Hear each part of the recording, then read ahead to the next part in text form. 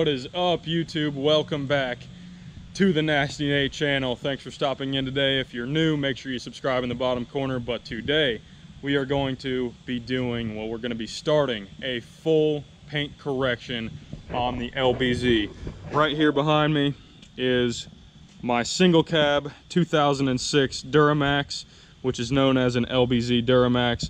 I'm just gonna give you a walk around, kind of show you what the paint looks like. Obviously, it looks pretty good, and uh, this lighting is gonna help it look pretty good right now, but definitely dirty. I just wanna do a walk around before we do a full paint correction, which I will go through all of the steps here in a few minutes with you. But first, we're gonna have to wash it and get it ready to be buffed and waxed and uh, paint corrected. So let's see if we can get some of these scratches. This right here, decently scratched. It's really dull paint on the bed sides. Um, this is gonna be definitely where I put some attention to detail. Looks like someone had used it, um, you know, maybe they had a tonneau cover on it or something. There's a good scratch right there some scratches here. I just kind of want to walk around, document this. Um, some decent scratches right here. Definitely looks like someone took a paint match, like touch-up paint to it. I'm gonna see, maybe we can wet sand that, not sure yet. Just want to walk around and get some of the bigger scratches in the video. That's definitely visible right there. It's not deep. I think this will definitely come out definitely a clean truck. I just want to get it as clean as possible really and then we're going to throw a ceramic coating on it. So stay tuned to this video. I'm going to show you exactly what to do on a paint correction. There's going to be some steps that maybe you guys don't need to do. Uh, maybe you guys want to try out um, if you're new to doing paint corrections or buffing and waxing. So after this whole process we're going to do a video on how to ceramic coat your car uh, by yourself. Don't take it to a shop and spend thousands of dollars doing that. In this video, we're gonna paint correct the Chevy. Next video, we're gonna ceramic coat the Chevy. And uh, stay tuned because this thing is gonna be looking glossy. All right, what we're gonna do first is take a clay bar. Grab your clay bar and you're gonna do this step while you're washing your car or truck. So you're just gonna dip the clay bar in your soapy water and you want the surface to be wet. You can kind of see it's already wet and you're just gonna like let it slide on the surface. I mean, barely any pressure. You really don't have to work this into the paint or anything like that. Just make sure, you know, it's taking off. It'll take off little rust spots like that right there. Um, stuff like that. It'll make your paint feel really smooth afterwards. So you're just gonna take this to the entire surface and that'll get your paint ready to buff. All right, so I'm gonna show you what I'm gonna use. First step is Meguiar's 105 for the heavy cutting. Then 205 is gonna be a polishing. After that, you can get both of these at Harbor Freight for, actually you can get them at like auto parts stores, but Harbor Freight sells them for a couple dollars cheaper. So that's where I got them. And then I'm going to use a, actually it's a Meguiar's um, microfiber heavy cutting pad with the 105 and then the 205 I'm going to use the um, chemical guys medium heavy cutting pad. It's actually a foam pad. I got a bunch of their foam pads last week uh, and it says has an index here on the back which one is the heaviest cut or the lightest cut so I got a variety of those. I might try maybe a different one with the 205. Um, if I come up with a different one, I'll definitely let you guys know. That came with the polishing pad cleaner. Uh, I might use like halfway through if I think the pad is getting too uh, full of wax. And then all I'm using is literally a Porter Cable DA. You can buy this at like Lowe's, maybe Home Depot.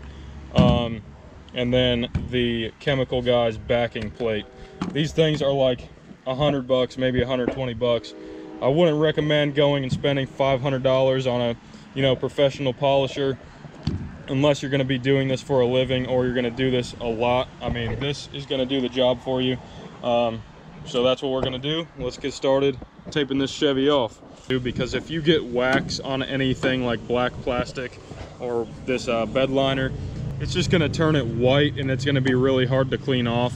Some tips to consider while you're polishing. So with the 105 205 yellow pad or orange pad or microfiber pad, no matter what it is, you want to apply, you know, about the same amount of pressure as this thing weighs. So a couple pounds of pressure. And you're just gonna move back and forth, working your way up and down the paint like this.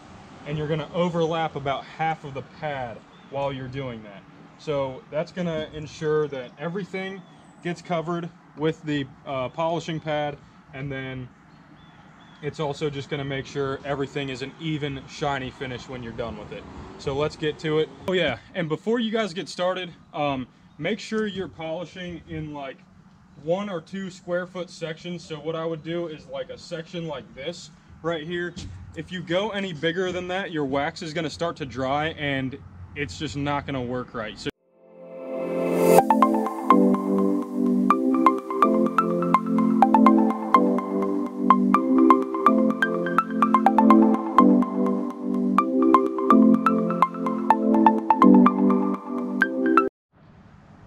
All right, guys, we are back the next day. I've done about three quarters of the truck um, with the Meguiar's 105, which I have sitting over here.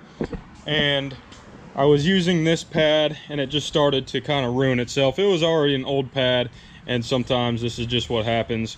So I switched over to the Chemical Guys yellow, which is the heavy cut pad, and it seems to be doing just as good as of a job as the uh, microfiber pad.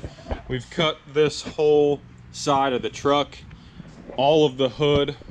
I made it about the whole bed with the microfiber pad and then I had to start using the yellow pad from Chemical Guys.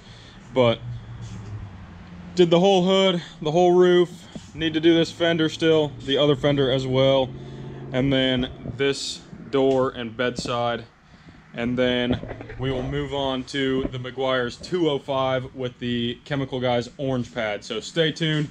I'm a little bit more motivated today, so we're gonna get some music going and uh, try to get this thing done today. Then we'll get some uh, ceramic coating on it. So make sure you guys stay tuned. Should be a good one.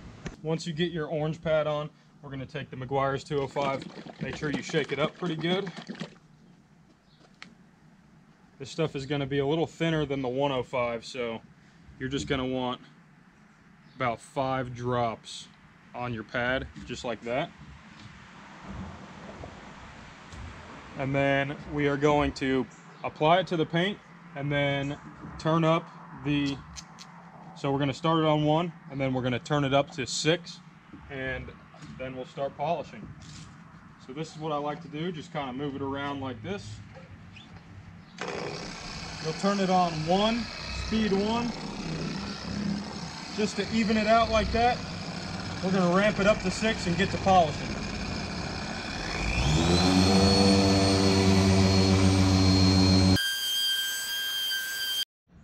Right, guys, I'm finally done with the second step after about, I would say probably three days of work, probably five hours each day. I'm done with the whole truck with the Meguiar's 105 and 205, the first step and second step. So, yeah, this is not something that you're just gonna get done in an afternoon. You can definitely make it look better if you go quick, but it's not gonna be the correct way. So we did the walk around in the beginning of the video. I'm just gonna walk around again. I don't know if I pointed this out in the first video. There was a pretty good scratch. You can see a dent but it's really hard to see the scratches there. So that came out really well. Just gonna walk around here. I mean, everything is just real shiny. So the next step is going to be taking all of the tape off and then we're gonna clean it with isopropyl alcohol and the best microfiber you can find. I mean, you want to use, this is the microfiber you want to spend money on. So I got some, you know, $10 microfibers up here and that are clean. They're kind of in a pile up there, but they are clean. They're brand new. And I'm gonna wipe this whole thing down with isopropyl alcohol to get all the dried up wax off of the paint. And then if you are doing, if you don't do a ceramic coating, this is when you would apply your wax or protectant or sealant. But in my next video, I'm gonna do a ceramic coating. So make sure you stay tuned to Nazty Nate for the ceramic coating how-to. But I hope this uh, was helpful to anyone that has never polished or paint corrected anything like this or done anything like this or whatever. So if you have any questions, make sure you leave them in the comments and stay tuned to Nazty Nate. We have some badass ceramic coating going on this truck next, actually sponsored by Avalon King. So make sure you stay tuned. We'll see you in the next one.